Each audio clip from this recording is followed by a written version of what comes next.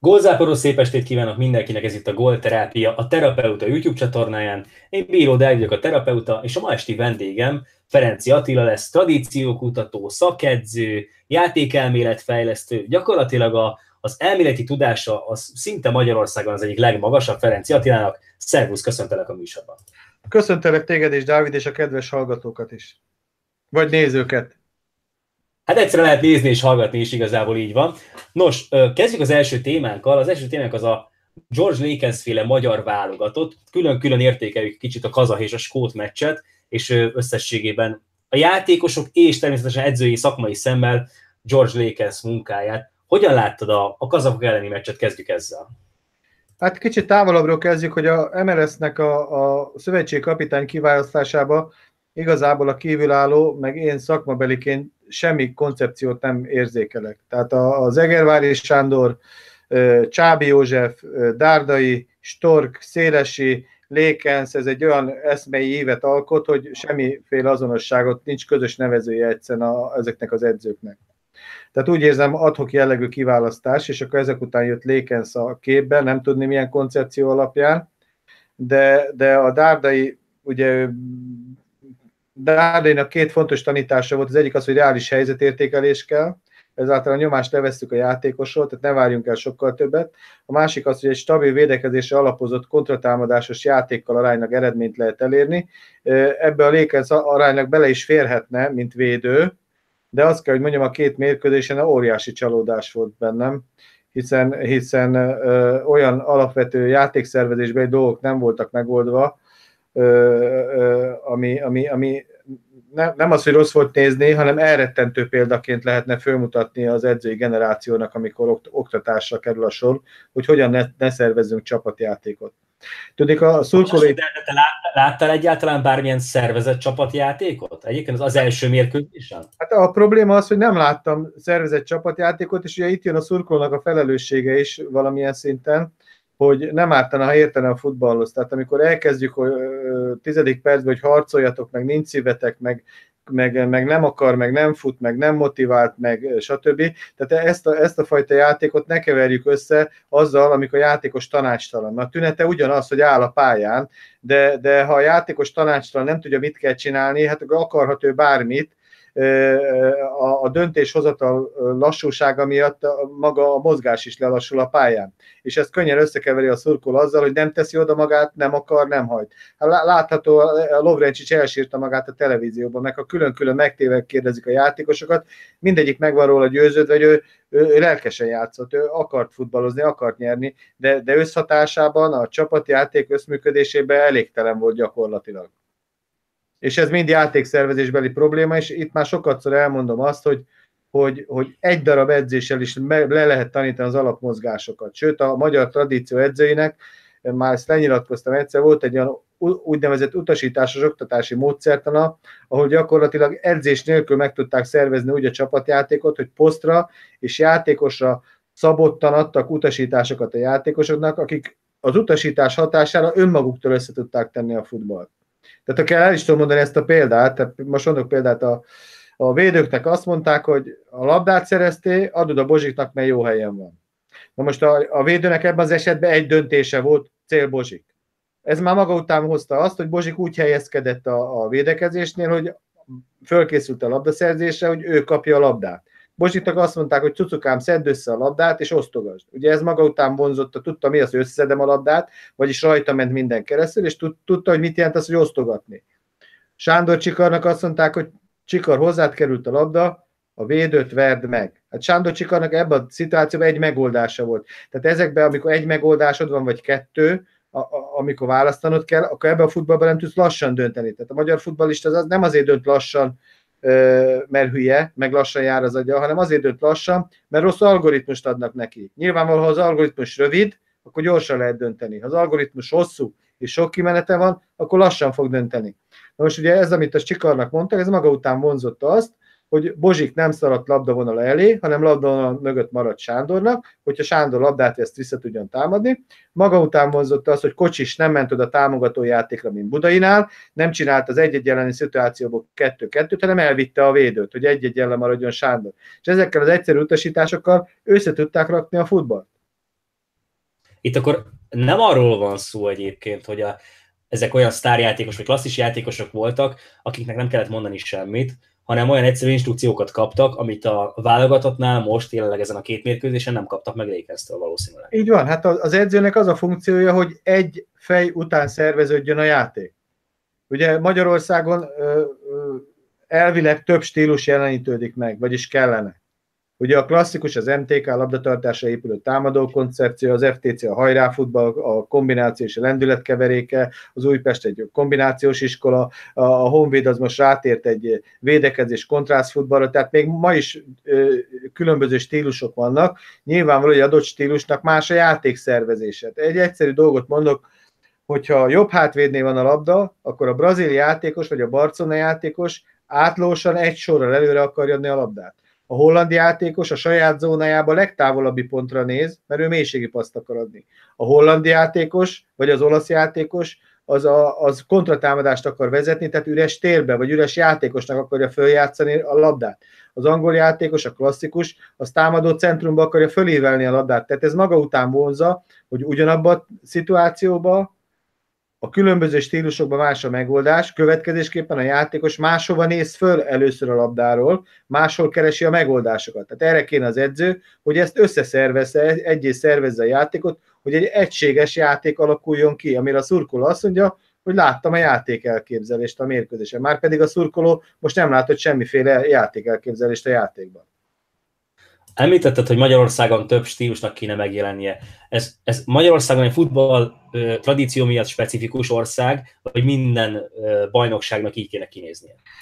Magyarország az egy speciális ebben a helyzetben, mert a karakteres labdarúgó kultúrákban tradicionálisan, ugye Angliában mindenki angolul játszott, most nem a mostani helyzetről beszélek, hanem, hanem a, a a 60-as, 70-es, 80-es években, Hollandiában hollandul játszottak, Olaszországban olaszul, Brazíliában brazilul. Tehát egyedül a magyar volt az, ahol különböző stílusok jelenítődtek meg. Ugye ma pont a spanyol iskola az, ami hasonlít a régi magyarhoz. Tehát van egy Atletico Madrid, ami totálisan más játszik, mint a Real Madrid, és amelyitől totálisan más játszik a Barcelona.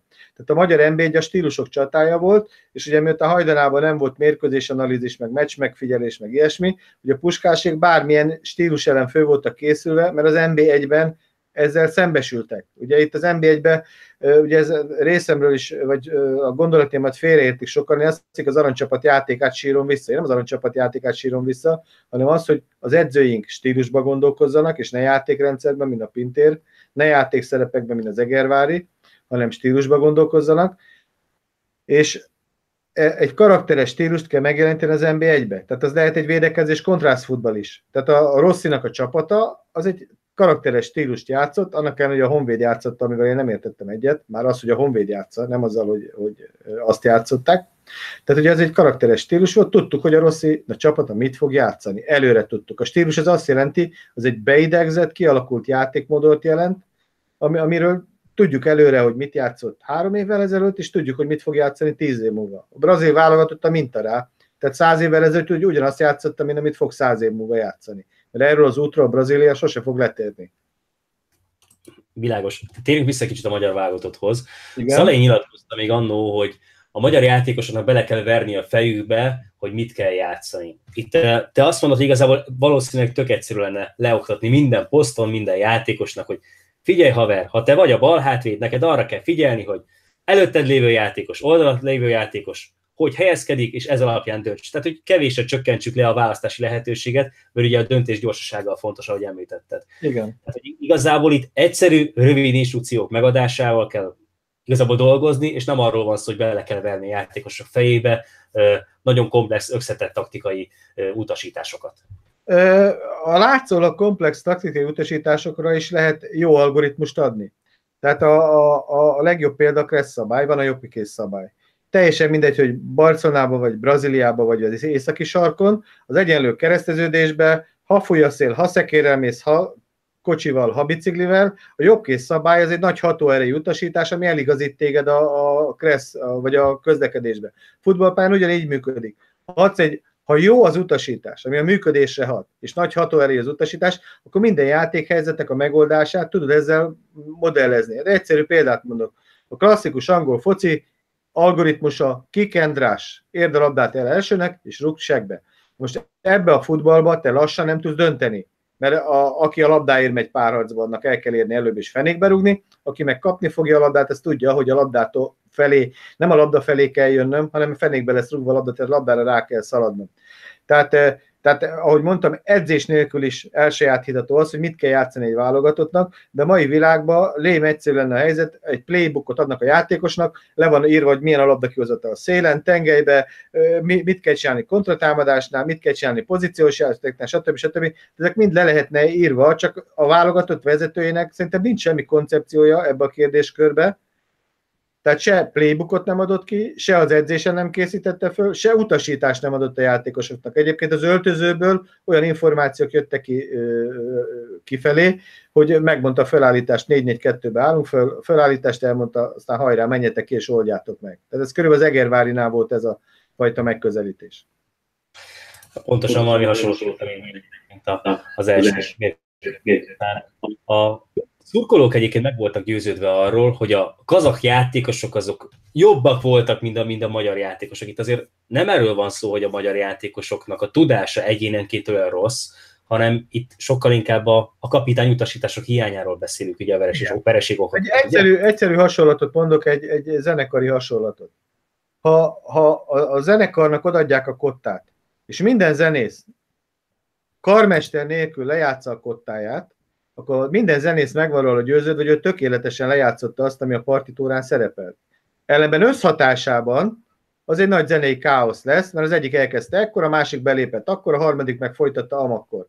Tehát a karmester az pont arra van, hogy összehangolja az együttes cselekvést. Most a válogatottnál ugyanezt történt, nem volt összehangolt együttes cselekvést, aminek a végterméke az, hogy a magyar válogatott alul teljesített, és aminek a végterméke az volt, hogy mi azt hiszük, hogy a kazak válogatottan baromi jó játszott. Mert a, mert a meccs az úgy történt, hogy mondjuk mi ütemtelenül letámadtunk, az ütemtelen letámadása megijedt az ellenfél, arrébb a labdát, és gyakorlatilag figurigázott minket azért, mert ütemtelenül támadtunk le, mindig későn értünk oda. Tehát nem volt összehangolt együttes cselekvés, és mi azt hiszük, hogy a, legalábbis a laikus szurkoló, vagy a laikus szakember azt hiszi, hogy kazak válogatott lefocizott minket. Holott nem lefocizott, mert másnap meg kikapott Bulgáriától, tehát, tehát nem egy eszemen csapattól kaptunk ki, hanem, hanem, hanem mi, mi gyakorlatilag mi hoztuk fel a kazak válogatottat arra, hogy a mi rossz ritmusú játékunkra ő jó ritmusban reagált, mert valójában ő csak reagált a mérkőzésen, tehát nem ő irányította a mérkőzést, hanem a mi rossz ritmusunk adta meg az ő jó ritmusát.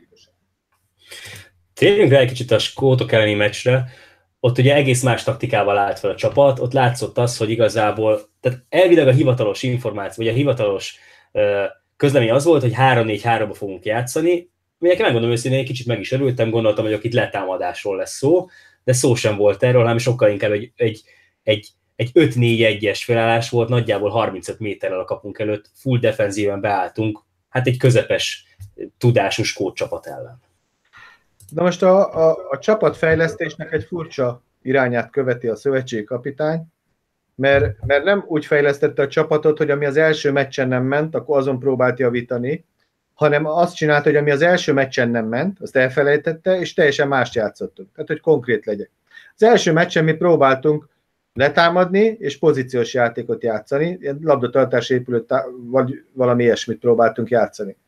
A második meccsen nem letámadtunk, hanem, hanem, hanem visszaálltunk a saját térfelünkre, vagyis más labdaszerzési módszerre operáltunk, és nem pozíciós játékkal operáltunk, hanem próbáltunk kontratámadásokat vezetni. Vagyis minden olyat próbáltunk csinálni, ami az, ami, tehát, ami az első meccsen nem ment, azt elhagytuk, próbáltunk helyette más csinálni. Csak ugye itt a probléma az, hogy a szövetségkapitánynak van négy meccse, hogy fölkészüljön őszre, vagyis itt baromi nagy léptekkel kéne előre haladni, hogy, hogy, hogy mit akarunk mi játszani. Mert a szövetségkapitánynak még az a problémája sincsen, hogy neki meg kell nézni játékosokat, hiszen hiszen először is a Szélesinél már itt volt, tehát 5-6 hónapja itt dekkol a Lakers Magyarországon. Bocsánat, csak itt csöng a telefonom, de kinyomom. Világos élőadás van. Igen, igen, igen ezt itt anyukám, nem tudom, én nem tudom kinyomni, de kinyomom valahogy. Na, kinyomtam, nem sikerült. Na, ö, tehát a... Bocsánat, fölveszem. Dundikám, rádióadásban vagyok, ne zavarjál, légy szíves. Na, 92 éves anyukám is unatkozik. Uh, hol tartottunk? A... Hát, hogy más játszott a skótok, a skótok, mert hogy elfelejtettük azokat a problémákat, amik ugye az első mérkőzésen voltak, és hogy a második mérkőzésen más próbáltunk játszani. Ja igen, és a csapatfejlesztésről beszéltünk, tehát a, a szövetségkapitánynak ugye nem kellett már játékosokat megnézni, mert ugyanezeket már fölmérhette az EB-től kezdve, tehát neki tisztába kellett volna lenni a játékosok képességeivel, tehát neki a saját koncepcióját kellett volna már megvalósítani az első meccsen, és a saját koncepciónak a továbbépítését a második meccsen. Most ezzel szemben elment most még két mérkőzés, és nem tudom, mivel lettünk okosabbak. Mert a válogatott játéka az kritikán aluli volt. Tehát a, a... Az van egyébként koncepció, azon túl, hogy Lékens valószínűleg nem stílusra gondolkozik, látsz egyébként koncepciót az ő játékában? Bármilyen koncepciót? Hát az eddigi nyilatkozataiból a koncepció az, hogy, hogy fussá, hajtsa akarjál, bízzál magadba, és miután ő védő volt, gondolom védekezés kontrász futballból vezetjük le a dolgokat. Csak ugye itt a probléma az az, hogy a Nemzetek Ligájában ott elvileg mi vagyunk az esélyesek. Nekünk az első helyre kéne hajtani.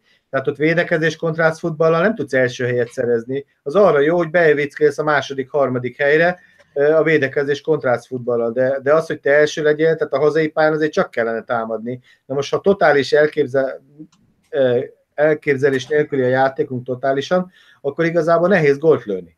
Tehát arra nem utazhatunk, hogy, hogy mindig a pontrugásokból találunk be, szabadrugásból, meg a szögletekből, mert, mert, mert, mert, mert az sem megy már nagyon. Akkor mi lenne a megoldás egyébként? Új szövetségi kapitányt keresni, Lékensznek úgymond olyan segítőt tenni, még másodedzőnek, vagy harmadedzőnek, vagy igazából tanácsadónak, aki mondjuk segítene neki megoldani ezeket a problémákat, vagy egy szakmai igazgató kellene egyébként a válogatott, vagyis az MLS-hez, aki megmondaná az irányvonalat Lékensznek. Hát figyelj, most már a, a helyzet az, az, az szerintem már, már késve vagyunk, tehát a, a, ha hosszú távra gondolkozunk, akkor elvileg szakmai igazgató az kellene hosszú távon, aki az eszmét biztosítaná a labdarúgó iparág felett, de, de most, hogy a Lékenz hogy tudna gyorsan előrelépni, én, én nem tudom, lehet, hogy ki kéne rúgni, azt meghozni valakit hirtelen, aki valamennyire ért a futballhoz. Csak ugye a szövetségnél az a baj, hogy, hogy ö, olyan súgók vannak, akik gyakorlatilag 40 évben mély butaságba tartják a magyar futballt. Hát, valahogy a futballunk sose fejlődik. Tehát most már van pénz, már infrastruktúra, már minden van. Magyar edzőnek mindig zseniális a kifogás kezelése, ugye eddig az infrastruktúrára kent, kent a dolgot, hogy azért nincs eredmény, mert nincs infrastruktúra, de most már minden van, és a magyar futball még egy métert nem lépett előre. Tehát a nyolc éve megy a futballfejlesztés, és már nekem kellemetlen, én érzem rosszul magam, itt pedig én a véken dolgozom, hogy, hogy, hogy életpálya modell van a futballban, és közben nem fejlődünk semmit világos itt, hogyha mondjuk Szélesi jól szerepelt volna az saját mérkőzésén a válogatottal, akkor lehet, hogy könnyebb belépni az MLS is, ugye? Hát nem tudom, mert a Szélesi igazából semmi edzői tapasztalat nincs mögötte. Tehát ő, ő azért került oda a szövetséghez, mert beszélt idegen nyelvet, és odarakták segédnek. De egyébként a szélesi esetén nem akarom bántani a szélesét, de a furcsának tartom, hogy ő kiszolgál egy storkot, vagyis azonosul azzal az eszmével, amit a stork képvisel. Amikor ő lesz szövetségkapitány, akkor totálisan más gondol, tehát gyakorlatilag akkor egy, egy álságos állapotban volt a stork mellett, hogy megjátszotta neki azt, hogy téged szolgálok stork barátom, és közben más gondolok a futballról, majd jön a Lékensz, és a Lékensznek is a eszmei segítője lesz. Tehát ez olyan, amikor a keresztény pabból lesz Mohamedán, meg buddhista pap. Tehát egyszerűen arculatot váltok. Ez, ez eszmék, tehát az ilyen ilyen a mesében van. Lékensz egyébként Storkhoz képest visszalépés, szinten tartás, hát esetleg előlépés, de ezt nem hiszem. Óriási visszalépés. Hát a Storknál legalább volt a csapatnak egy alapjáték. A Storknál már az volt a probléma, hogy én szerintem, hogy meg kellett volna lépni egy következő fejlődési szintet, amit nem tudott meglépni. Hát a, a, a, a, az Európa bajnokságon 52,58 százalékkal labdabirtoklásban 9. helyen, 9. helyen végeztünk. Tehát a, a játékunk abszolút nem volt defenzív, még a portugálok ellen sem. Sőt, ha még ha belegondolsz a belgák ellen sem, ott beleszaladtunk egy négyesbe, belementünk egy hektikus futballba, ami egyébként szurkolói szempontból egy jó futball volt, ha azt kívülállóként nézzük, az a meccs, csak éppen a, az ellenfél túl jó volt, és ezért kaptunk egy négyes. De még ott is nem a védekezés kontrász futball preferáltuk. Mennyire tesz egy azzal a... Igen? A, bocsánat, azt azért hozzátenném, tehát én nem a védekezés kontrász futball ellen vagyok, sőt, azt mondom, hogy a válogatott esetében ez akár járható út is lehetett volna, és ezért kellett volna a Rossit idehozni, aki no-name emberekből csinált bajnok csapatot a Honvédnál, mert a Rosszinál az senkinek nem tűnt föl, hogy a Honvéd egy európai szintű területvédekezést nyújtott, mutatott be. Tehát a, a legjobb példa a Videton elleni meccse volt. Vezetett egy 0 a Honvéd, és alaphelyzetben ilyenkor a magyar csapatok azt csinálják, visszaállnak bekkelni, és várják a csodát, hogy leteljen a maradék 30 perc. Ezzel szemben a Honvéd föltolta még akkor is a védelmi vonalat, és hatszor állította lesre a, a videóton játékosait. Nem tudtak mit kezdeni a Honvédnek a területvédekezésével.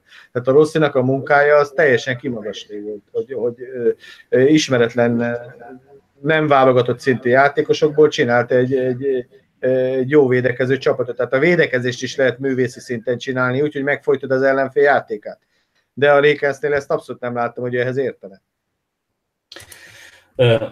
Világos, igazából nagyjából megválaszolta a kérdésemet, de muszáj feltennem. Ugye általában azt szokták mondani, hogy a játékos kerethez kell igazítani a csapatnak a, a játékát, vagy hívjuk stílusát, de általában nem hiszem, hogy így gondolják azt az edzők. Te viszont stílusba gondolkodó ember vagy. Akkor a, a magyar válogatottnak ez alapján, akkor ezt a védekezés kontrás stílust kéne játszani egyébként művészi szintre emelve? Nem, mert a, tehát a következő a, a stílus kialakításnak több módszere van. Az egyik az, az amit te mondtad, hogy a játékos állományhoz illesztem a stílust. A másik módszer az az, amikor az edzőnek a játék felfogása alakítja a stílust. Ilyen volt a Verebes vagy a Guardiola. Guardiola akárhova megy, ugyanazt a stílust játsza. A harmadik opció az, amikor a, a, a klub tradícióhoz illesztem a stílust. Ugye ez a válogatottnál nem áll. A negyedik opció az, amit a Baróti Lajos bácsi tanítása, hogy a válogatott esetében a vezető csapatok játékstílusához illesztem a stílust. Ez a mai nap azért nem igaz ez a tanítás, mert nincs karakteres stílus nagyon a magyar csapatoknak egyrészt, meg másrészt külföldi edzők vannak. Tehát, tehát az én olvasatomban kell egy jó edzői futballfilozófia, és azt éleszted a játékos állományot. Ugye a Verebes a minta rá, aki a, a, a kiesés szélén lévő, Rábetóból ugyanazzal a játékos állományjal csinált egy bajnokcsapatot.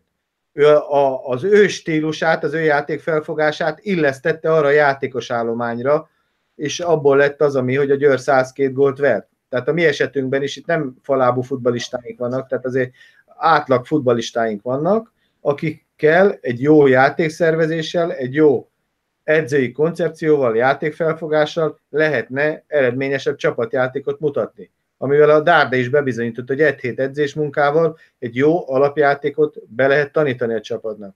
Csak sajnos ez Lékensz úrnál úgy látszik nem működik, hogy nem működött se az Egervárinál, se a Pintérnél, se a többinél. Hogyha azt nézzük egyébként, a játékos válogatási elvet sem feltétlenül értettem én egyébként, mert én úgy gondolom, és vagy cáfolj meg, vagy erősíts meg, hogy vagy Szalaiba és Eppelbe gondolkozom, vagy Nikolicsba és Német Krisztiánba. Hát figyelj, a, a Dárdai ezt baromi egyszerűen megoldotta, amikor volt az első sajtótájékoztatója, ő, ő fogta és fölvázolta, hogy a különböző posztoknak milyen profilúnak kell lennie. És amikor ezek után ott megkérdeztek, hogy a Nikolics miért nem, kerete a, miért, miért nem tagja a válogatott keretnek, mert hogy gól király, meg így, meg úgy, meg amúgy, akkor ő azt mondta baromi egyszerűen, azért, mert nem felel meg annak a center profilnak, amit ő elvár.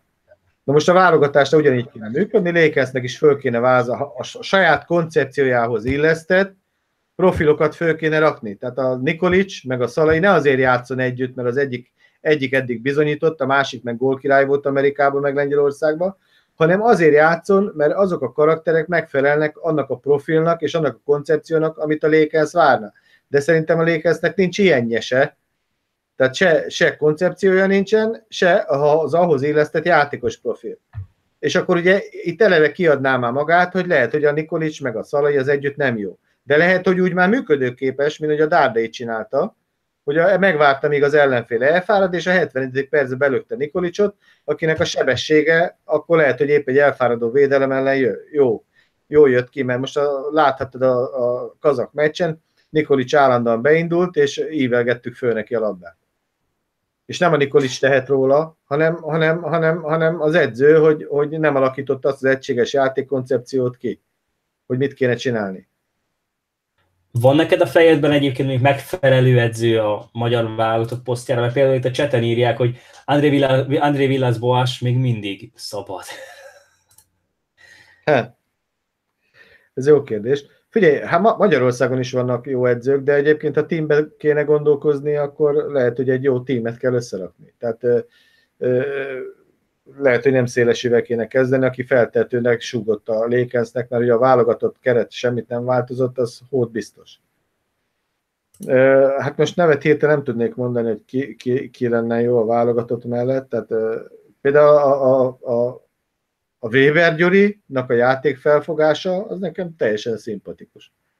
A, ugyanakkor a, a, a, a Rossi is megfelelő, mert a védekezést ő magas szinten tudja, de ugyanakkor például a Pintér védekezés szervezése az már nem, nem, nem üti meg azt a szintet, amit a Rossi.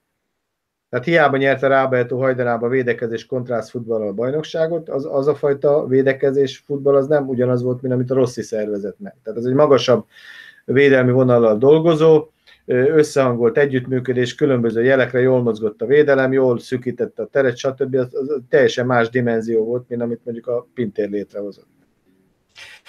Hogyha úgy gondolkodunk, hogy nem konkrét személyben, és én egyébként inkább jó edző és rossz edző párti vagyok, mint, mint hazai és külföldi edző kérdésben, de akkor milyen nációból érkezzen a, a nemzeti csapatunknak az edzője? Tehát, tehát milyen nemzetisége legyen, aki, aki hasonló klubfilozófiát valhat, mint ami megfelelő lenne a, a szövetségkapitányi posztra? Ugye, én szerintem a latin kultúrkör az nekünk megfelelő lenne. Tehát a, akár olasz edző, akár a Szóza vonal például Portugáliából, Spanyolországból, ez a vonal ez abszolút megfelelő lenne. Vagy egy olyan, olyan típusú edző, mint a Atletico Madrid edzője. Tehát az is teljesen megfelelő lenne. Világos. De, Paulo Szóza, de mondom, még... ketten is említették itt a cseten. Tessék? Paulo Szózát ketten is említették a cseten például. Hát igen, hát látod, a Paulo Szóza az nem egy acélos játékos állományjal, ugye a Paulo Szózát is egyébként tiszta vicc volt, hogy amikor idejött Magyarországra, akkor azzal támadták meg, hogy a mezei bajnok csapatából kiszórta a, a, a válogatott játékosokat, és idehozott MB2-es, MB3-as portugál játékosokat. Először ezzel támadták meg. Ez volt ősszel. Tavasszal már az volt, hogy a videótonnak van a legjobb játékos kerete, tehát hirtelen már az akkor MB2-es, MB3-as portugál játékosok, meg a, akit Szóza hozott, hirtelen már baromi jó játékosok lettek, és ugyanezzel a látszólag szar játékos állomány, ugye a kiszort válogatottal, a Lipták, meg a Horvát, nem tudom, kiket szórt ki abból a csapatból, bejutott a kupa mérkőzések közé, és teljesen nézhető meccset játszott, és ragyogó játékszervezést oldott meg a, a Szóza is. Tehát a, a, azért mondom, hogy ez a vonal, ez, ez teljesen járható út lenne. Tehát a válogatott esetében az is probléma egyébként, hogy a szövetség lejáratja a külföldi edzőket. Ugye a magyar és a külföldi edzők között egy folyamatos ellentét van már Mateusz óta, mert a magyar edző az mindig prüszköl a külföldire, hogy sose ér el eredmény, de egyébként ér el eredmény, mert Dolly is itt volt, meg Moniz is itt volt, meg Rossi is itt volt, meg egyébként a Honvéd volt edzője, Morales is jó volt, meg a Dolcetti is jó volt. Tehát lejáratja a külföldi edzőket a szövetség, azzal, hogy, hogy nekem úgy tűnik, hogy egy kóklert hozott ide. Világos, azért én tudnék magyar edzőt is elképzelni ettől függetlenül a válogatott kispadján, de mindegy. Térjünk. El, elképzelhető, csak eddig az a baj, a magyar edzői garnitúra az oly mértékben lejáratta magát, hogy hiteltelenné vált teljesen. Tehát nem viccből a szövetség elnökségébe nincs benne egy szakember sem. Tehát Jó, akkor ki is mondom, igazából, igazából én arra gondolok, hogy olyan magyar szakemberre lenne szükség, egyébként aki, aki nem Magyarországon szocializálódott, tehát nem ebben a magyar edző légkörben tevékenykedett, hanem külföldről érkezik haza, és talán egy más mentalitással Ez tud egy új löketet adni. Ezzel maximálisan egyetértek, ott van Bódog is jó példa rá. Hogy a, a, a Egervári lemondott a Diósgyőr részéről, mert hogy gyenge játékos állományok. Jött Horváth Feri, akkor kieső helyre vezényelte a Diósgyőrt, akkor onnan még elment nem tudom hány válogatott játékos, az Elek, meg a nem tudom még kicsoda, és azzal a legyengült játékos állományjal hirtelen megjött boldog, és két hét alatt olyan játékot mutatott be, hogy az egész NB1 már féltől. És simán bemaradtak a, a, az NB1-be, és, és nézhető meccseket játszik a, a, a Diós Győr. Hát az túlzás, hogy simán bemaradt, de végig bemaradtak egyébként. Igen, tény, ami tény. Na de akkor térjünk rá akkor a magyar NB1-es edzőkre. Úgy fog kinézni a most ez elemzés, hogy a, a, a, a tabella mostani állása szerint az első helytől elindulunk végig a, a csapatokon, és akkor megbeszéljük a, a csapatok játékát és az edzőknek a, a minőségét, hogy Ferenc Attila hogyan gondolja. Jelenleg első a Ferencváros, és Tomás Dol vezeti a csapatot, akik általában 4-2-3-1-ben állnak föl, és hát mondjuk, hogy egy támadó játékstílusban játszanak, igazából egy irányítóra épül nekik a játékuk. Hát a, a, a Dole esetében azt tudom mondani, hogy, hogy, hogy néha mellé nyúlnak az igazolásoknak, néha meg nagyon jól beválnak az igazolások. És a, a Ferencváros különösen a hazai pályán nagyon látványos játékot játszik, ami, ami, ami már lassan hajaz arra a Fradi játékra, amelyik a tradicionális Fradi stílus. Az, hogy bepréseli az ellenfelet a, a, a, a saját kapujába, minden helyzetből támad, nincs sok oldalpassz, célirányos játék, erőcsatár elő, fönn, vannak technikás játékosok is, tehát igazából a Fradi az a Dol vezénylete alatt úgy érzem, hogy aránylag próbál visszatalálni a saját identitásához. Tehát a Dol munkájával, lehet, hogy nem a Dol eredménye, hanem a játékosok hozzák létre, ezt nem tudom megítélni, mert ugye voltak mélypontok is, de az kétségtelen, hogy most a Fradinak a játék minősége az, az nekem tetszik. Ugyanakkor az is látszik, hogy amint a Fradi kilép a nemzetközi porondra, akkor ez a, ez a játék ez nem feltétlenül ér olyan sokat, mint ahogy ez most tűnik így elsőre az NBA-ből. É, ezt valójában alá kell támasztanom, és azt is úgy, nekem úgy tűnik egyébként a, ide a BL csoportkör meg egyébekbe bejutáshoz, hogy a, a jó védekezés kontrász futball az kifizetődőbb, mint a, a támadó futball. Tehát a támadó futballban több a, több a hiba, hiba százalék, és emiatt bukhat talán a Fradi meg, hogy idén eleje a formája. Ugye a, a Szóza minta rá, hogy ő gyakorlatilag egy védekezés kontrász futballal jutott be. Tehát olyan előre lehetett tudni, hogy az a videóton az nulla gólt fog kapni a meccsen. És ugye 11-esekkel, meg idegenbe rugott gólokkal masszírozott be a, a csoportkörbe, és a, még a csoportkörbe se játszott alárendelt szerepet. Ha már ennél a Szóza féle videótonnál tartunk, ez erősebb volt, mint a mostani Márko Nikolics féle videóton? Most nem feltétlenül a játékos keretre gondolok, hanem a csapat összességére. Hát én, én nekem úgy tűnik, ne, úgy rémlik így visszamenőleg, hogy az a, az a csapatnak a csapatjáték az erősebb volt, mint a mostani videótoni. Tehát a mostani videóton játékától igazából nem nem vagyok elájulva, megmondom őszintén és a, a Lazovics is nekem úgy tűnik, hogy csak Magyarországon tud tündökölni, mert, mert ide, a nemzetközi meccseken nem igazán tettek oda a játékhoz a nagy dolgokat. De azt is problémának tartom, hogy lehet, hogy sok szerbe van már csapatban. Tehát a, ugye az edzők mondják, akik sok idegen játékossal dolgoznak, hogy egy bizonyos szint fölött már a klikkesedés, meg egyebek a saját nációban van, az, az problémát okozhat a csapaton belül. Abban a pillanatban nincs eredmény, akkor ezek elkezdenek okoskodni, meg magyarázni, és, és, és ami a további eredménytelenségnek a, az alapja. Ha már felhoztad Lazovicsot, a szurkolók körében elképesztő népszerűtlensége van egyébként ennek a játékosnak, elsősorban a fetrengése miatt. Te, hogy te lennél még a videótonnak az edzője, akkor szólnál ezért mondjuk neki, hogy, hogy ezt ne csinálja, vagy hogy ezzel lejáratja a klubot és a, igazából az egész játékos társait, vagy, vagy alapvetően a sportágat eljáratja le, vagy ez tök normális, vannak ilyen karakterek? A, a feltrengés az nyilvánvaló, hogy az engem is idegesítene, mert, mert a bírókat, meg a közönséget is hangolja. Ugyanakkor a Lazovics ez egy érdekes jelenség, mert, mert, mert az a csibészség, amit ő képvisel, meg az a raffinéria, ez pont a magyarokra volt jellemző régen, ez, és pont ez az, ami hiányzik a magyar futballból. Tehát igazából a, a, ő, mintá példaképnek is jó lehetne.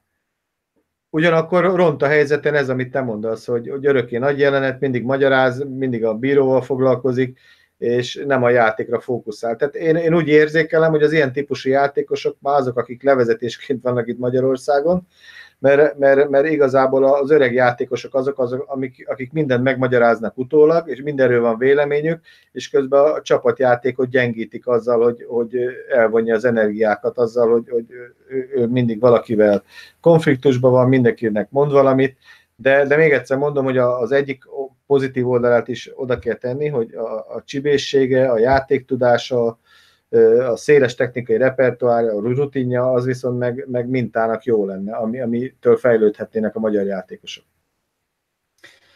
a magyar futball tekintve egyébként, ugye azt látjuk, hogy két csapat esélyes a bajnoki címre, és ezáltal ugye a BL selejtezőre is. Tehát mi lenne a jobb, vagy melyik csapatnak lenne nagyobb esélye? A Ferencvárosnak, vagy a Videótonnak a mostani játékok alapján mit gondolsz?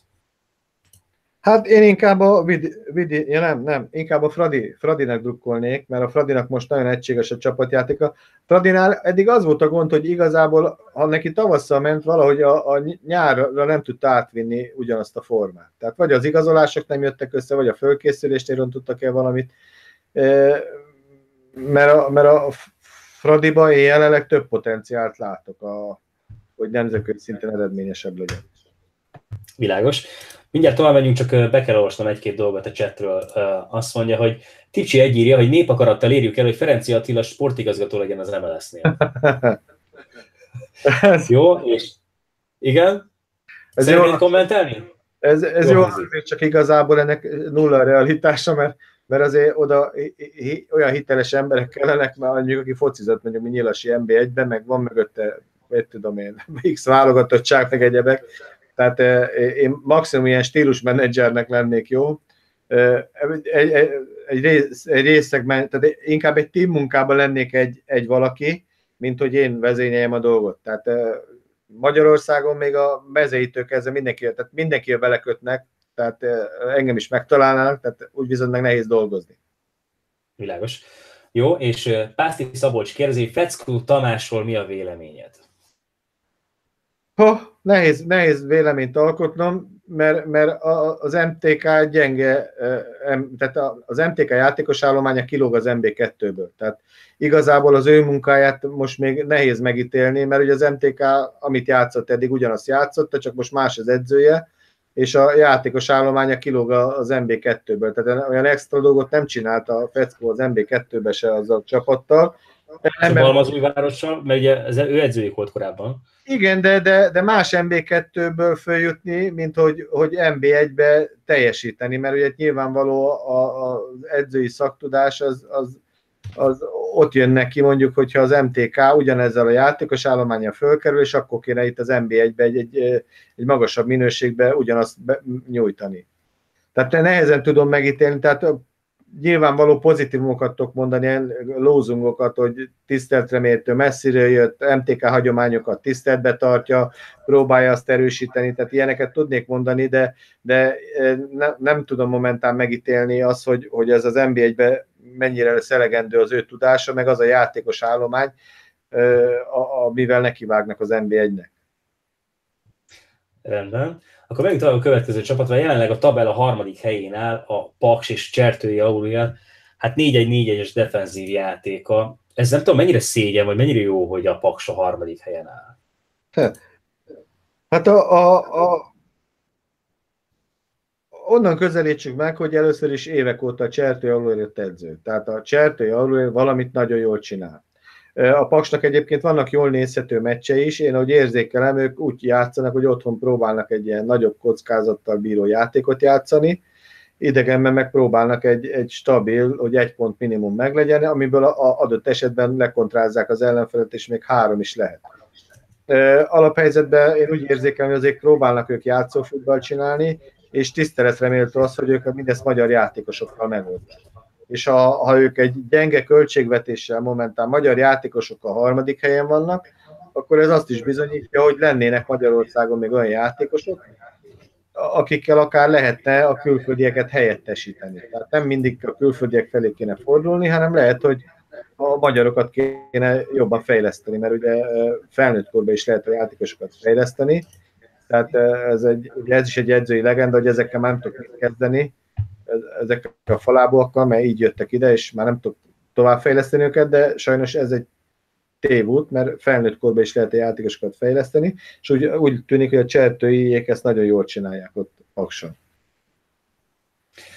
Mi szurkolók a semleges térfőben sokszor panaszkodunk a Paksra, mert hogy nézletetlen mérkőzéseket játszanak, akkor egyszerűen el kell fogadni, hogy van egy csapat, amelyik mondjuk ezt a stílust képviseli, hogyha már beszéltünk is stílusokról, bár nem hiszem, hogy Csertő Eurója szintén stílusban gondolkozna, hanem pont az a helyzet, hogy a, a játékos kerethez alakítja a taktikát. Igen. Ez tehát, hogy, tehát, hogy, hogy itt az a, az a kérdés, hogy, hogy kell egy ilyen csapat egyébként az NBA-be, aki mondjuk így játszik, és fogadjuk el, hogy, hogy egyszerűen a Paks most éppen ilyen jól szerepel, de hogy mindenképpen szükséges egy ilyen defenzív csapat is. De igazából a, a Paks az véletlenül került ide a harmadik helyre, mert a, a Csertői ugye mindig is hangoztatta, hogy ők benne akarnak maradni. Most a bennmaradáshoz egy stabil játék kell. Amely, a, a, kell egy olyan stabil szint, amivel minimum hozol egy X-et, tehát egy kevés kockázatot vállaló játék, e, e, valószínűleg a játékos állománya erre alkalmas, és ennél nem többre. E, ugyanakkor ott a Diósgyőr eset, amelyik nézhető futballt játszik, sőt a mostani hétvégi haladás meccs is ragyogó volt, szurkolói szempontból, egy elég iramos meccset játszottak, úgyhogy a, a magyar NB1 ez minden ellenkező éreztelés ellenére az én olvasatomban fejlődik. Világos. Jött egy kérdés hozzám, ami igazából rólad szól, de muszáj beolvasni, és válaszolok is rá. Elnorbi kérdezi, Bíró David, mennyire lenne jó szövetségkapitány Ferenci Attila szerinted? Szerintem Attila nem a megfelelő ember szerintem a szövetségkapitányi posztra, viszont szakmai igazgatónak egyébként el tudnám képzelni, igazából bármelyik egy csapatnál és az MLS-nél is. Úgyhogy Attila nem tudom, mennyire sértette meg ezzel. Nem sértettél meg ezzel. Tehát... Jó, oké. Okay. Menjünk tovább. A következő, a negyedik helyen áll jelenleg a Vignyevics csapata és az Újpest. A Vignyevics mennyire játszik jó focit szerinted? Mennyire tetszik az ő edzés munkája? Hát a Vignyevics az alaphelyzetben, hogy én érzékelem, ő, ő próbál támadó futballt játszani, sőt pár évvel ezelőtt az egyedüli volt, amelyik a Ferencvárost letámadta saját pályáján. Tehát minden más csapat abban az időben, amikor a Fradian sok ponton nyert a bajnokságot, akkor mindenki visszahúzódott és védekezés futballt, a Vignyevics törekszik erre a futballra. Az kétségtelen, hogy, hogy nem az a klasszikus dózsa, kombinációs, nagysebességű játék, amit hajdanában játszottak a Görös, meg Fazekas, meg Benedonai kettő, de, de törekszik rá. Az, hogy most neki mennyire van megkötve a keze a, a tulajdonos által, hogy hogy tud igazolni, meg hogy nem tud, meg kötelező leigazolni, meg mennyire van beleszólása a leigazolásokba, ebbe nem tudok belefolyni. Ugyanakkor azt el tudom mondani, hogy amit láttam a Vignevicsnél NB1-es edzést, az, az szakmai szempontból az teljesen ült. Tehát egy, egy jó, jó edzés volt. Világos. Hát ötödik helyen van a Debrecen, ugye jelenleg Herceg András a vezetőedző, aki hát ősszel csodát csinált, és most mondjuk úgy, hogy igazából a Loki szurkolók azt mondják, hogy a kiesés ellen menekül a csapat. Hogyan látod, mi lehet egyrészt a törés oka ugye a csapatnak a teljesítményében, másrészt egyébként hogyan látod Herceg Andrásnak az összmunkáját a szezonban? Hát a Herceg Bandi munkáját az jónak látom olyan szempont, hogy a helyi lokálpatrióta, a helyi erőkre épít, már nem olyan kimagasló a Debrecen költségvetése, mint hajdanában volt. Ugye ott is a, a, már megpedzegette a bandi, hogy, hogy a kiesés ellen fognak küzdeni. Sajnos a harmadik, negyedik helytől már mindenki az ellen küzd, mert pillanatok alatt, pillanatok alatt oda lehet kerülni, mind a alulról meg föl lehet kerülni, mert itt bárki bárkit elverhet Összességében ez jó egyébként? Tehát jót tesz a bajnokságnak, vagy a magyar futballnak? Abból a szempontból jót tesz, hogy, hogy legalább éres, küzdelmes meccsek vannak, és kiszámíthatatlan minden. Ugye régen azért volt kiszámíthatatlan, mert tipmixes meccsek voltak, most meg, most meg legalább attól kiszámíthatatlan, hogy a tök utolsó is elverheti az elsőt. Mert, mert senki nem lók ki a sorból olyan különlegesen. Tehát a szurkolói szempontból a megfelelő izgalom az megvan, megfelelő versenyhelyzet megvan, és ettől a bajnokság színvonala fejlődik. Arról nem beszélve, hogy próbál most sokkal több támadó felfogású futballt játszó csapaton, hogy az egyik ilyen a Debrecen is, aki próbál legalább támadni, és a saját erőforrásokra építeni. Menjünk a Kispestre és Subka Attilára, ugye nemrég lett kinevezve a Honvédnak a kispadján. Hogy látod, mennyire tudja megtartani azt a azt a focit egyébként a, a Kispest, amit mondjuk tavaly játszott. Hát a Rosszira gondolunk éppen? Igen, persze Rosszira, igen. Mert ha Rosszira gondolunk, akkor én úgy ítélem meg, hogy az a védőmunka már nem az a védőmunka. Tehát azt hiszem a védelem nagy része is le van cserélve, és a, a, a, ha a 11 ember védőmunkáját nézem, az már nem az a védőmunka, több gólt kapnak, összműködési zavarok vannak, ugye az, azok, azt a tudást, amit a Rossi beléjük rakott, ugye ez egy folyamatos ismétlést igényel, hogy milyen jelekre lépek ki, hogy szűkítem a teret, milyen vezérlőjelekre, mikor tolatok hátra, mikor mit csinálok a pályán bizonyos típus szituációkra. Ezeket a játékosok, ha ezeket nem ismétlik, ezeket szépen fokozatosan elfelejtik, és akkor onnan jönnek az összműködési zavarok. A, a, a feltétlenül a sukkal nincs azon a szinten területvédekezés se oktatásban, mint amilyen a Rossi volt. De mondjuk ez nem is biztos, hogy elvárható tőle, hogy a Rossi pont abból az országból jött, amelyik a védekezés kontrász futballt játsza magas szinten, és ez Olaszország. A következő csapat a Diózsér és ugye Bódog Tamás. Én nála látom egyedül, hogy ő valóban stílusba gondolkozik.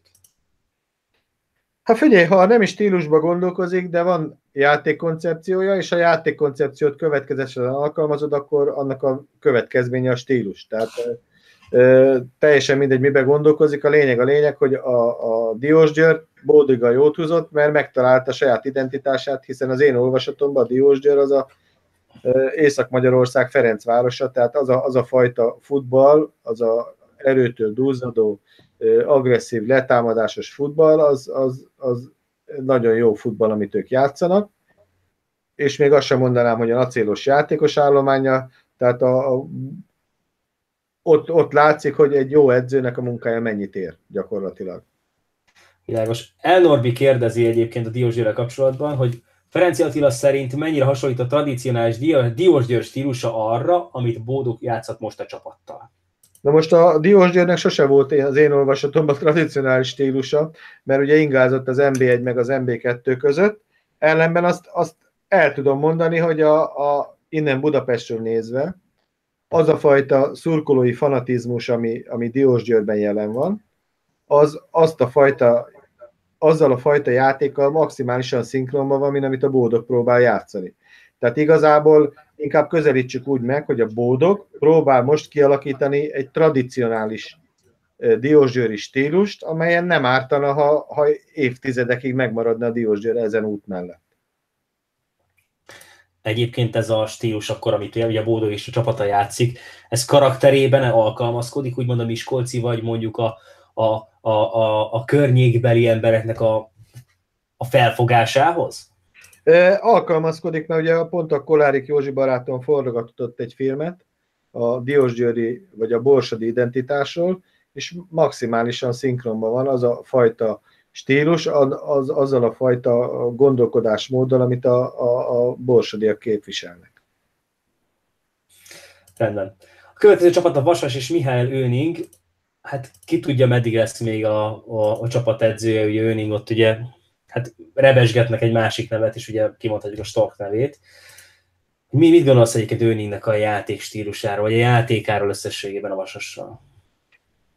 Hát a német edzőkről sose voltam jó véleménnyel, amely véleményem viszont változott, mert Hévizen jártam egy-két konferenciára mostanában, amit német edzők tartanak. És ugye számomra kiderült, hogy a németek azok nem csak átszervezték a futballjukat 2002 környékén, mikor eredménytelenek voltak, hanem gyakorlatilag ők egy gondolkodásmód váltást is végrehajtottak, az analizáló németes gondolkodásmódból átváltottak egy polárisan más gondolkodásmódot képviselő szintetizáló futball gondolkodásra. Na most ők most jutottak el arra a szintre, amit mi magyarok 1920-ban, vagyis 100 évvel ezelőtt már képviseltünk. Most ebből kifolyólag az történt Németországban, hogy kiképeztek 100-200 olyan szakembert, akár hívhatjuk közkatonának is, aki helyből le tud vezényelni egy edzőképzést, egy egynaposat. Na most az őnék az ennek a terméke, e, e, mint fiatal edző, aki, aki megfelelő szaktudással rendelkezik, és tudja, hogy ahhoz, hogy én A-ból eljussak B-be, ahhoz mit kell végrehajtanom. Na most ugye ez, ez, a, ez a munkája tavaly ült, eredményt hozott a Vasasnál, idén valahogy nem jön, de, de igazából itt nem azt jelenti, hogy ő rosszabb edző lett, hanem, hanem, hanem elképzelhető, hogy ugye nüanszokon múl, múlnak dolgok, hogy ugye, ahogy a Dárda is mondta, hogy tavaly a Herta az nem attól volt jó, hogy ő jó volt, hanem a többi volt gyengébb, és azért volt ő jó. Tehát ugye volt a Herták egy stabil csapatjátéka, tavaly a Vasasnál pont ez történt, volt egy stabil játéka, és olyan meccseket behúzott, amit, amit meg most éppen elvesz. De ez nem azt jelenti, hogy a kiesés ellen kéne küzdenie, mert, mert a Vasas is próbál egy aránylag nézhető és támadó futballt játszani. Aztán a következő csapat a felcsúti Barcelona, akinek az edzője ugye Pintér Attila, akik épp a pillanatokban verték meg a Diós Győrt idegenben 3 0 a kupában, és ezzel jutottak is tovább. Az ő munkájáról mi a véleményed? Hát a Pintér Attila az tipikusan az az edző, aki játékrendszerbe gondolkozik, tehát a, a stílusról, mint olyanról fogalmilag nem tudja, hogy az micsoda. Most ez persze nem azt jelenti, hogy rossz edző, mert az az edző, aki játékrendszerbe gondolkozik, az is tud ö, eredményeket elérni. Csak ezzel azt akarom demonstrálni, hogy a, a, a stílusban, ha van egy adott stílus, az bármilyen játékrendszerbe le tud játszani, az az edző viszont, aki játékrendszerbe kezd el gondolkozni, akkor abból problémák adódhatnak a, a, a, az oktatás során. Na most a, a, a Pintér Attila most egy fejlődési úton van, mert a Rábaetónál egy védekezés kontrászfutballt játszott, még, még felcsuton meg próbálgat támadni, azonban a támadó játékszervezéssel számomra úgy tűnik, hogy nagyon merev és sablonos játékszervezést alkalmaz, ami, ami, ami, ami, ami nem nézhet. Tehát, tehát nem, nem szép futballt játszik a, a, a, a felcsút. Arról nem is beszél, hogy a Pintérnek valahogy a játékos kiválasztása az valahogy nem akar klappolni, mert zsinórba igazolja le az újabbnál újabb játékosokat, de valahogy a, csapatjátékban ezek az emberek nem tudnak annyit hozzátenni, mint amennyit esetleg ő az átigazolás pillanatában elvárt volna tőle. Aztán a következő csapat a mezőköves és Kuttor Attila, akik egyébként egész jó formában vannak, hogy bár az utolsó fordulóban kikaptak, de egyébként előtte öt meccsig veretlenek voltak. Hát megmondom őszintén, kevés mezőköves meccset néztem mostanában. Valahogy megértem. De hogy a, a, a nyilatkozatokból látom, a játékuk stabilizálódott, tehát minden okuk meg lehet arra, hogy, hogy bemaradjanak a bajnokságban. Mm, nem, nem tudom, mi lesz a végkimenetel a dolognak, de majd most már nézek mezőköves meccset, hogy valami konkrét véleményem legyen róla, vagy róluk. Okay. Nem tudom, hogy haladásmeccset mennyire nézel, de Hitmester is ugye nem végült le a kispadra. Hát most Látsz a legutóbbi, bármit. A legutóbbi Igen? meccset láttam, és az a véleményem alakult ki, hogy, hogy ő egy ilyen szlovák típusú futballt akar játszani, ami az iramra megy rá, az erőre, a célirányosságra, legalábbis a múlt legutóbbi meccsen ez jött le nekem, és ugye miután voltam Dac meccsen is kine Dunaszerdahelyen, ott is gyakorlatilag ilyen, ilyen hajrá futballt játszottak, érdelelsőnek, rukfenékbe, rohanj rá, küzdjél, harcoljál, párharcolj, ne add föl. Ez egyébként szurkolói szempontból mondom, a, a hétvégi meccs az teljesen helyén volt, mert egy akciódús mérkőzést láttam. Tehát nem, nem egy mérlegelő, kiváró, hanem, hanem face-to-face csapat volt a mérkőzésen. És az utolsó helyen ugye a Balmazújvárosi áll Horváth Ferenc csapata, hát nyilvánvalóan kiesés ellen küzdenek, de összességében Horváth Ferencről mi a véleményed, mint edzőről? Hát a Feri az egy érdekes. Ne, neki egyébként láttam több edzését személyesen is Sziget-Szent Miklóson, tehát egy felkészült szakembernek tartom, ugyanakkor nem tudom pontosan megítélni, mert, mert, mert van ahol, tehát a videótonnál beugrott, ott eredményes volt, stabilizálta a játékot, nézhető futball volt, ugyanakkor Diósgyőrbe megfeküdt, most Balmazújvárosba kialakított egy stabil játékot, egy ilyen védekezés, kontrász futballt, a játékosok oda vannak érte. Ne, nem tudnék egyértelműen állást foglalni abba, hogy, hogy mennyire stabil az ő tudása, mert ugye, ahogy mondom neked, Diós Győrbe is megfeküdt, de elképzelhető, hogy ő nem stílusba gondolkozik, elképzelhető, hogy a játékos állományra adaptálja azt a fajta játékot, és Diós Győrbe nem tudta megoldani, itt úgy tűnik Balmazói városban viszont meg tudja oldani. A videótonnál meg tudta oldani, de amikor volt Győrbe, meg Kecskeméten, ott nem tudta megoldani. Ugyanakkor sajnos azt is ki kell mondani, hogy a magyar szakma valamiért haragszik a Ferire, mert, mert politikai vonalon nyomkodják egyik helyről a másikra, és, és azoknak az edzőknek, akik szintén prolicencük van, és szeretnének edzői álláshoz jutni, igazából úgy látják, hogy a, a kapcsolatrendszer hiánya miatt az egész életük megfeneklik azért, mert ők éppen nem a Szijjártóval futballoztak egy, egy futszál csapatba. Nagyon szépen köszönöm az őszinte választ, és akkor most jön egy teljesen új blokk itt a gólterápia történetében, a cikkelemzés. Kivezetem két igazából hírt, amit majd Attilának kell így véleményeznie. Addig mondom egyébként a csetre, vagy a nézőknek, hogy most lehet írni a chat kérdéseket Attila felé, ezeket szépen összegyűjtjük, és akkor az adás végén beolvasgatjuk szépen őket. Miért az első hír, ezeket a 24.hu-n jelent meg, hogy új szabályok bevezetését tervezi a Nemzetközi Labdarúgó Szövetség, erről a szervezet főtitkár helyettesen nyilatkozott. Eddig az edzőket és a szakmai stáb tagjait azonnal elküldték a kispattól, ha fegyelmezetlenek voltak, mostantól viszont sárgalappal figyelmeztethetik őket, hogy kontrollálják a viselkedésüket. A jövőben az, az öt és felesről elvégzett kirúgásnál a labdának már nem kell elhagynia a 16-os vonalát, hogy játékba kerüljön, illetve a lecserélt játékosok bárhol elhagyhatják a pályát, nem kell a kispadokhoz menniük. A három változtatás egyelőre az ifjúsági mérkőzéseken tesztelik. Ezek a változások, változások, változtatások befolyásolják el mondjuk a mérkőzés kimenetelét, mennyire fontos változások, hogyan ítéled meg ezeket? Hát a, a, azzal a változtatás abszolút nem értek egyet, hogy a, a sárga lapokat osztogatnak a, az edzőknek, mert a, a, e, ezek a opciók, amit kapnak a bírók a kezükbe, ezek arra alkalmasak, hogy a bíró fontossá tegye magát, és főszereplője legyen a mérkőzéseknek. Tehát a, az edzőket jó lenne. De a tipikus bírói nyilatkozat, nyugodjon meg. Tehát az edző egész héten arra készíti a játékosát, hogy menjen, mint az állat, akarjon, küzdjön, nyerje meg a meccset, és akkor a bíró nyugodjon meg. Nyug, nyugtatja az edzőt, nyugtatja a játékost, mikor az egész hét arról szólt, hogy, hogy fölspanolt állapotba kerüljön mindenki, és extázisban nyomja le a meccset.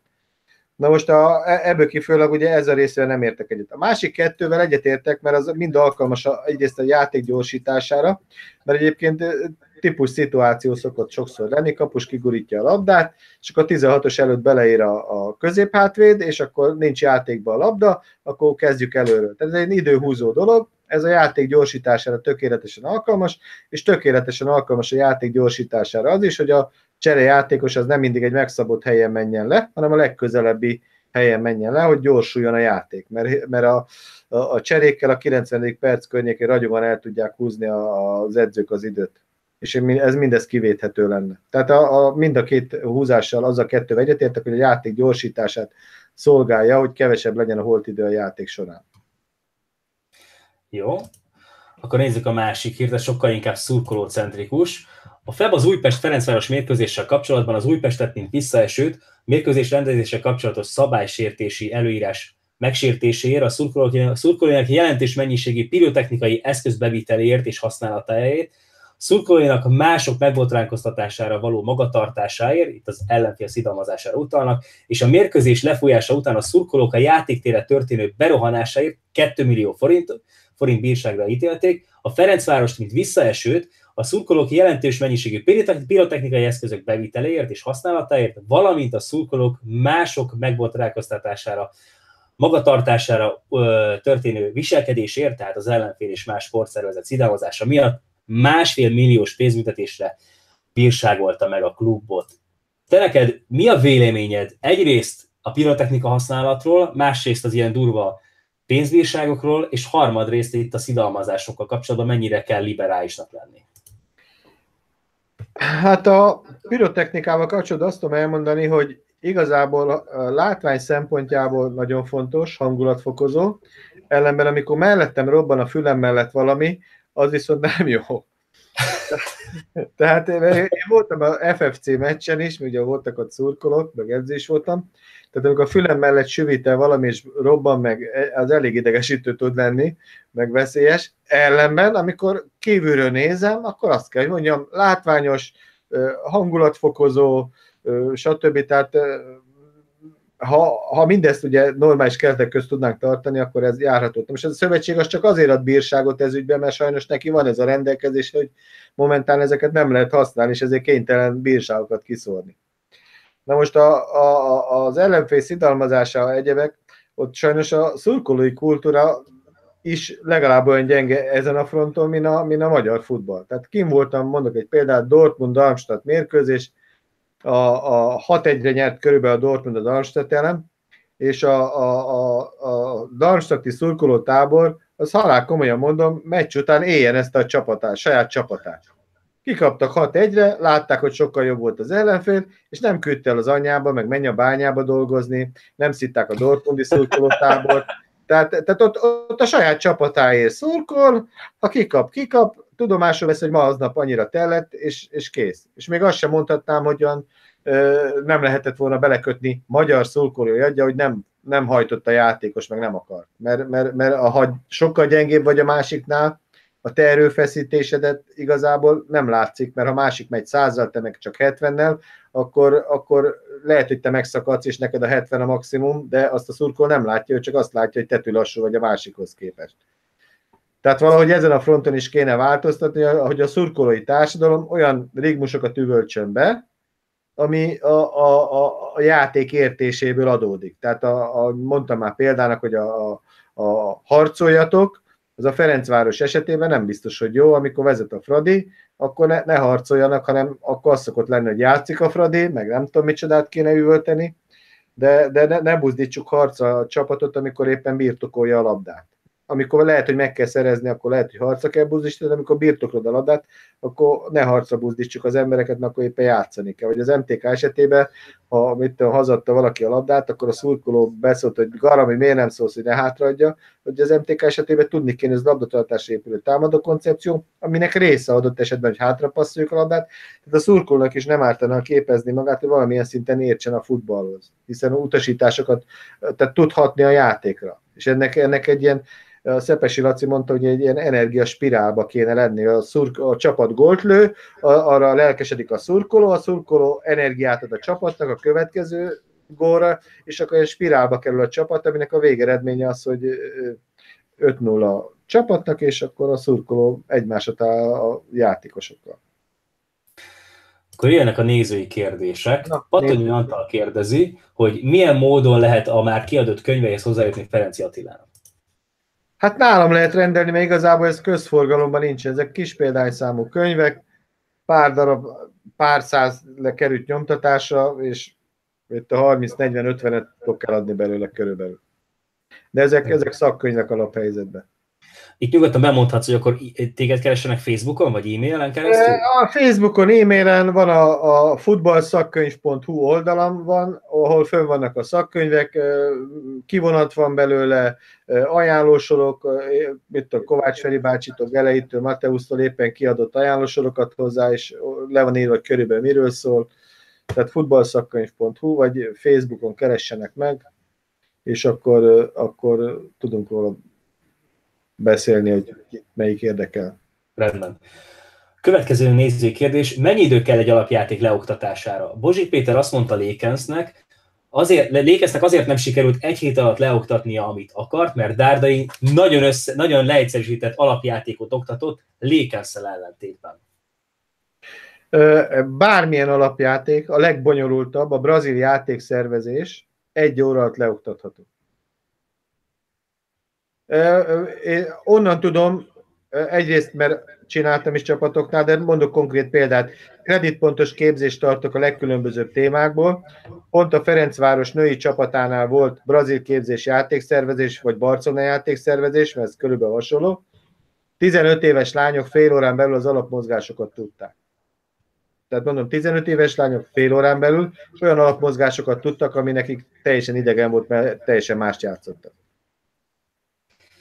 Jó, aztán Juhász Kristóf írja a következőket, ugye Vasas szurkoló a semleges térfélből.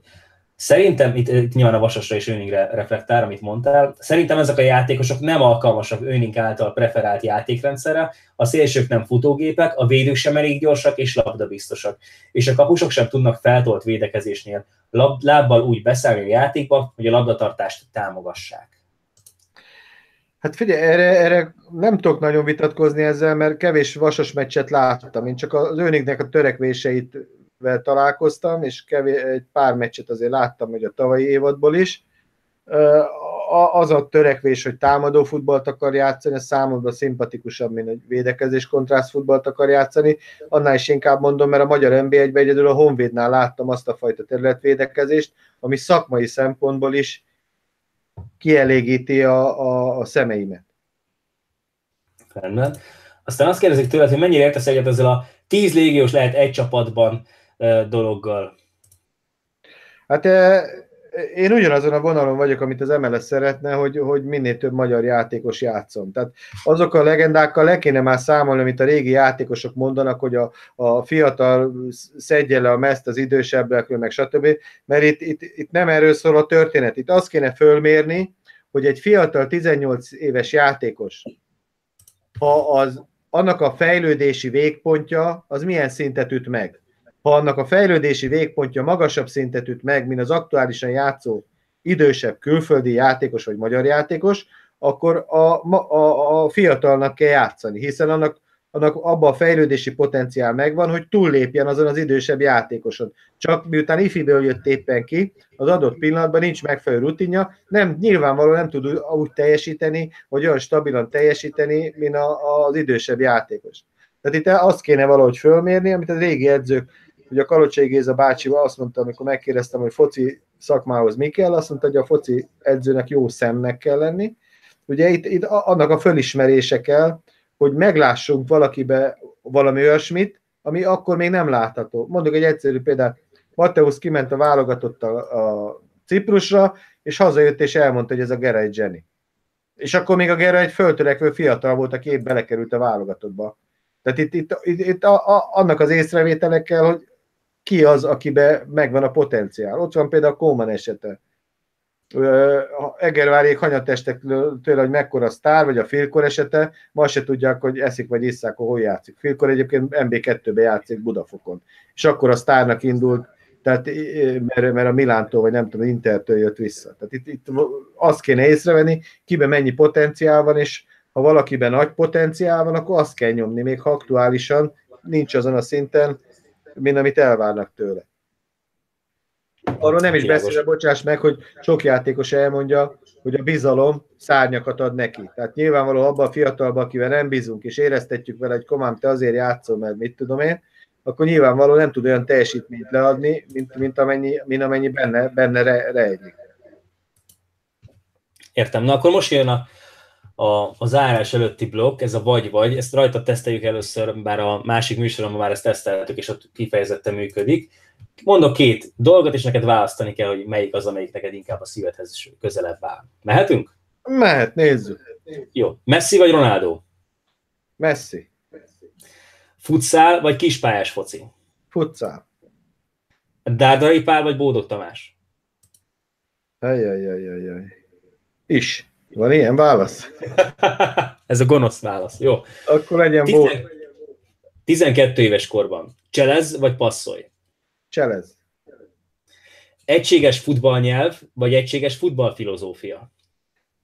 Egységes futballfilozófia, mert az utána vonza, vonza egységes nyelvet. A labdarúgás az sport, vagy művészet? Művészet.